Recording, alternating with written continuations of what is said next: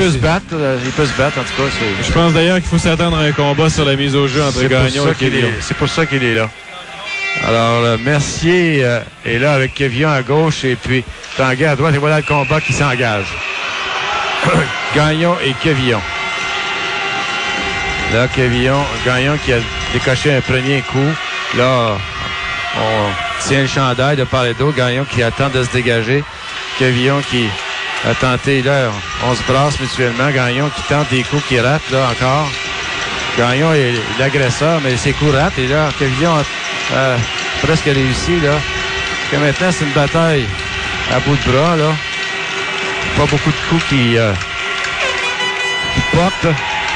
Là, Kévillon qui a failli prendre le dessus, là, le casque, et là, on, s'est renversé mutuellement. C'est, c'est pas un grand combat de boxe, c'est euh, une partie de lutte. on voyait Kévillon au centre de la patinoire euh, chercher Gagnon qui euh, l'a invité. Donc c'était les invitations étaient déjà faites avant la mise au jeu. Liam O'Brien qui s'en allait remplacer Kévillon sur la glace et Kévillon a fait signe retourne au banc.